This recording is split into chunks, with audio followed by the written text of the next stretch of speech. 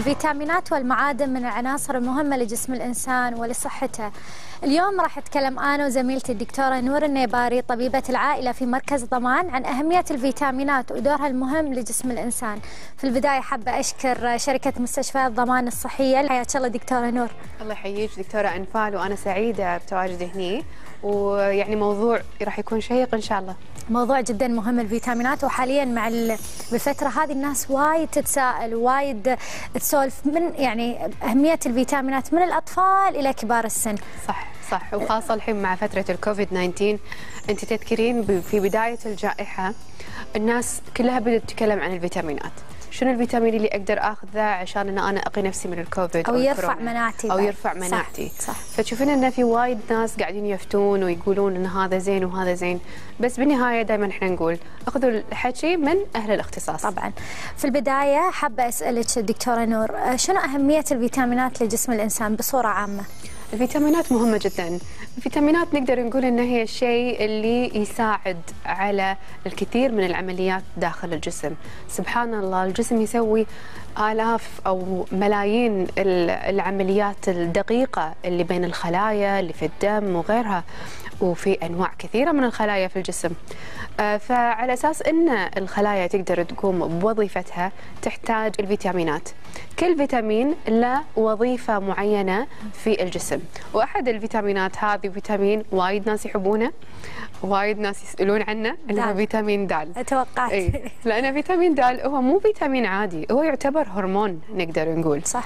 وهو من الفيتامينات اللي تم تصنيعها داخل الجسم عن طريق الجلد. طبعا. الجلد هو اللي يصنع الفيتامين د لكن انت لاحظتي مع فترة الكوفيد بداية الجائحة كلنا قعدنا في بيوتنا صح. ما قمنا نطلع كنا فيلم صح؟ صح. ففي هذه الفترة منظمة الصحة العالمية حطت توصية. قالت إن الناس اللي منعزلين قاعدين داخل البيوت ما قاعدين يتعرضون حق أشعة الشمس ممكن ياخذون لهم فيتامين د. إيه؟ آه هني على أساس إن إحنا نعاد الفيتامين د لأنه هرمون مهم للجسم. بس دكتورة نور آه لازم يعني نذكر للمشاهدين إن فيتامين د بالذات ما يصير ناخذه بجرعات كبيرة وما يصير ناخذه بدون تحاليل مثلا عشان نشوف نسبة فيتامين د فيتامين د في الجسم.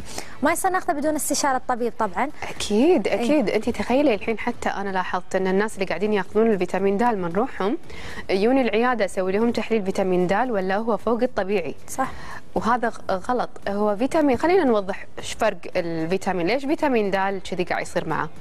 فيتامين د هو أحد الفيتامينات اللي تذوب بالدهون. ما تذوب بالماء فمعناته إن طريقة استخراجها من الجسم أو عشان تطلع برا الجسم ما تطلع عن طريق تكرمون البول مثل صح. الفيتامينات اللي تذوب في الماء الفيتامينات اللي تذوب بالماء مثل شنو؟ فيتامين سي صح. فيتامين بي. هذول الفيتامينات تطلع مع تكرمون البول. لكن الفيتامين د لا. طريقة حفظه أصلا هي عن طريق الكبد. فأنتم تخيلوا إذا خذيتوا كميات عالية من فيتامين د. شنو ممكن يصير دكتورة أنفال؟ أكيد راح تقولي لي. طبعا راح كلها تتجمع في الكبد وراح ينعكس على صحة الإنسان طبعا. 100% مثل ما قلتي تأثر على الكبد ويسبب سمية في الكبد وممكن حتى يسبب فشل في الكبد إذا إحنا أهملنا الموضوع. وأقول لك مثال على واحدة جتني من زمان. آه يعني جتني آه يعني تشتكي. تقول لي دكتورة أنا تخيلي يعني أنا كل هالأعراض صارت فيني. عقب ما أنا خذيت فيتامين د آه يوميا بجرعة خمسين ألف وحدة. الله. يعني خمسين ألف وحدة هذه جرعة عالية. فتخيلي قاعدة تأخذها يوميا. صار فيها أعراض غريبة جدا. بدت معاها أعراض سمية آه في الجسم. وهذا الشيء أدى إلى خلل كبير في وظائف الكبد وما ما يرجع مرة ثانية للأسف. للأسف. عشان كذي إحنا لازم ننتبه طريقة الاستخدام. مو تسمعون حكي الناس بتويتر ولا في إنستغرام عن الجرعات وأخذوا فيتامين د. لا لا لا. راجعوا طبيب العائلة. طبعا. سووا تحليل الدم. بعدين نعطيكم الدواء. دكتورة نور قبل شوي ذكرتي إن الناس اللي قاعدة في البيت ما تعرض للشمس. نعم. في سؤال وايد حلو أذكر سألني إياه مرة طبيب لما كنت في الجامعة دكتوري. مم. قال متى أحسن وقت إذا قعدتي فيه بالشمس تحصلين يعني الكمية الحلوة من فيتامين د؟ يعني هل هو يعني أذكر قال لي بعد صلاة الفجر أو مثلا إذا قعدتي الظهر أو إذا قعدتي الصبح فإيش رأيك تجاوبين على المشاهدين؟ آه سؤال مهم جدا. في شمس الكويت إيه. طبعا أكيد ما راح نقول حق الناس قعدوا في شمس الظهر هذه لأن القايلة، إيه. القايلة لأن خلاص يعني آه، أول شيء هذه اشعه الشمس ممكن تكون مضرة تزيد من النوبات اللي تكون ضربة حرارية أو ضربة الشمس فإحنا نحاول ناخذ الشمس اللي شوية باردة فالكمية إيش كثر تقعدون بالشمس هذه تعتمد طبعا من بين دراسة ودراسة لكن في الغالب هي كلها نحتاجها عشر دقائق لربع ساعة بالشمس. وحتى حتى يعني يقول لك حتى الوجه كافي إنه هو يمتص أشعة الشمس. بس بنفس الوقت هني مثل ما قلت أشعة الشمس حارة بالكويت الدنيا صيف. مو مال إن إحنا نروح نقعد بالشمس. صح، تحت الشمس. خاصة إن مضار الشمس الحين كثيرة. مو يعني مو عشان فيتامين د. وأنا أقول لك إياها معظم اللي في الكويت نقص. سمراء بشرتهم سمراء عدل عندهم نقص لأن بشرتهم سمراء عندهم نقص وهذا شيء طبيعي إن شاء الله لو قعدوا كل يوم في شمس الكويت ما راح يصير فيتامين د عندهم طبيعي صح. لأن امتصاص الأشعة هذه أو الفيتامين د تكوين فيتامين د عندهم مختلف عن اللي بشرتهم بيضة. ففي الغالب اللي بشرتهم سمراء تشوفون نقص فيتامين د عندهم أكثر يمكن من اللي عندهم بشرة بيضة. وهم في عوامل وايد كثيرة تلعب دور في هالموضوع. لكن يعني أنا أقول لكم تبون تسألون عن فيتامين د راجعونا في ضمان وسألونا عنه. ما راح تقصرون طبعا نسوي لهم. تحاليل دم وتشوفون نسبة الفيتامينات. إيه. دكتورة نور خلينا ننتقل شوية حق موضوع وايد يهم البنات. في البداية حابة أسألك شنو الفرق بين المعدن والفيتامين؟ هو المعادن والفيتامينات هي مثل ما قلنا مواد إنزين تساعد الجسم على العمليات اللي موجودة. بس هو واضح شنو معنات اسم معدن المعادن هي الأشياء اللي موجودة في الطبيعة. هي عناصر وليست مركبات. الفيتامينات عبارة عن مركبات. ال- المعادن هي عناصر بس هم هي مركبة يعني هي أملاح نقدر نقول. لأن أكيد الجسم ما راح يمتص إلا الأملاح. ففي عندكم أملاح الحديد أملاح الزنك في وايد أنواع من المعادن اللي يستخدمها الجسم عشان يكون طبيعي. بالنهاية إحنا م- مخلوقين من شنو؟ سبحان الله. هذه طبيعة. جسم الإنسان. صح؟ اي اي والطين يحتوي على كثير من المعادن. وأحدها الحديد النحاس صحيح؟ يعني في وايد معادن. الحديد طبعا دكتورة نور من ال- العناصر المهمة حق صحة البشرة صحة الدم صحيح. حق ومهم جدا عند البنات. وايد تحاتي نسبة الحديد عندها خصوصا إذا صار عندها تساقط في الشعر صار عندها ذبلان في البشرة. ممكن تكلمينا عن أهمية معدن الحديد للجسم؟ أكيد. يعني الحديد هو من العناصر المهمة لتكوين الدم. كريات الدم الحمراء هي لها لون أحمر بسبب هذا الملح ملح الحديد اللي آه، يحتاجه الجسم عشان نكون خلايا دم حمراء آه، صحية. الخلايا الدم الحمراء هذه تحتاج كمية كبيرة من الحديد عشان تتكون. صح. ومكان تخزين الحديد يعتمد هني. طبعا عندنا في الكبد حتى ممكن يكون. فالحين الحديد لما يكون عندنا نقص فيه آه شنو يصير؟ إن الدم قاعد يدور حديد صح؟ أي. يدور انه وين أقدر أنا أكون خلايا دم حمراء جديده ما في عندي حديد كفي. فيقوم هو شنو؟ يسحبها من المخازن مخازن الحديد اللي موجودة. فيسحبها من المخازن بعدين تقل مخازن الحديد ويبتدي هم ظهور الأعراض اللي تنبه الجسم ترى في نقص في الحديد موجود واحدها تساقط الشعر البهتان في البشرة البشرة ضربات تصير لونها القلب. أصفر دقات القلب لما. تصعد الدرجه تقول ما فيني شدة ما أدري ليش قلبي يدق آه، حيل فتشوفين إنه وايد في أشياء أعراض كذي بس آه، الحمد لله يعني هو شنو أسوأ عرض ممكن يصير مع مع الحديد أو نقص الحديد وما قمنا نشوفه الصراحة الحين لأن العلاج مال الحديد وايد ممتاز اللي هو فشل القلب اللي هو صح. آخر شيء آخر ممكن مرحلة. يصير إيه. اي بس الحمد لله ما قمنا نشوفه وايد لأن قمنا نعالجه مبكر قمنا ننتبه عليه أكثر فنادر ما تشوفين إن هذا الشيء يصير والحمد لله ما قاعد نشوفه بالكويت دكتورة إذا جتكم عيادة ضمان أبي أتشيك مثلا على مستوى الحديد في الدم شنو التحاليل اللي تقدمونها لي؟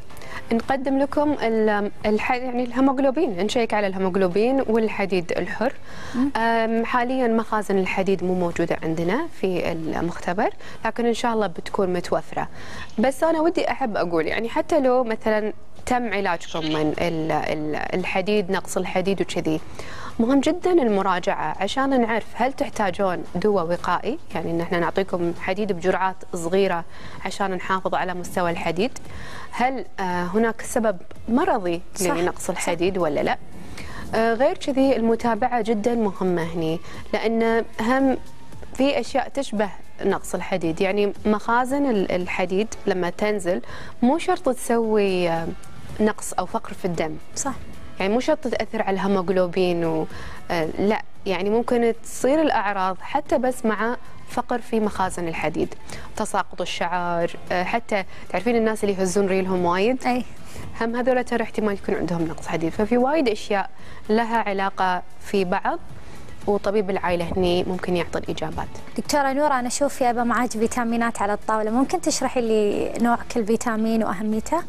هو الفيتامينات اللي أنا حاطتها مجرد أمثلة يعني تحصلون بالسوق وايد وايد أدوية موجودة بس من أهم النصائح اللي أنا ودي أقول لكم عنها اللي هي سالفة ال- ال- المكونات. فمثلا في واحدة تشوف يعني فيتامين حق الشعر تروح تشتري فيتامين حق البشرة. صح. تروح تشتري. حق الأظافر. بعدين تروح تاخذ حق الأظافر ولا صح. تاخذ هذا الفيتامين. تشوفينها تاخذ ست فيتامينات بيوم واحد. صح. وهذا خطأ. إحنا قلنا سبق وقلنا إن خاصة الفيتامينات اللي آه تذوب في الدهون ممكن تتجمع في الجسم ويصير في تراكيز سمية. المعادن كذلك يعني هم زيادة المعادن صح. ممكن تكون مضرة. فتشوفون إن في قيم غذائية موجودة هنا كم ملي جرام؟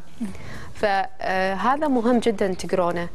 وحاولوا إنكم إذا بتاخذون فيتامين لأن الدكتور قال لكم لازم تاخذونه مو من كيفكم لازم الدكتور يكون قايل لكم لازم تاخذونه. إذا خذيتوا أكثر من فيتامين آه، لازم يعني ما يكون فيه نفس المكونات. صح يفضل. ولازم الجرعة اللي هي أقصى جرعة ممكن ياخذها الإنسان في اليوم. يعني إيه. مثلا في جرعات معينة يعني جرعات معينة طبعا فعلا. يعني الحديد أعلى جرعة ممكن يتحملها الجسم في اليوم. الفوليك أسيد الكالسيوم كل فيتامين أو كل معدن له نسبة معينة. صحيح. إحنا ما تكلمنا عن الدهون الدهون اللي ممكن ياخذونها الناس أنا بس بوريكم هني مثال على حبة أو كبسولة ال... هي هذه الكبسولة مالت ال primrose oil فتشوفون إن ال- الجل اللي موجود وكذي ففي وايد ناس ياخذون هالنوع من ال- الحبوب أو الكبسولات اللي فيها دهون داخل أي. فالحين في وايد ناس يستخدمون هذا الشيء. حتى الأوميجا 3 حتى الأوميجا 3 قام ياخذ. بس أنا حبيت إن أنا أوريكم يعني إنه مو شرط الفيتامين أو هذا مو فيتامين على فكرة دهون أساسية. يعني يجيب عدة أشكال.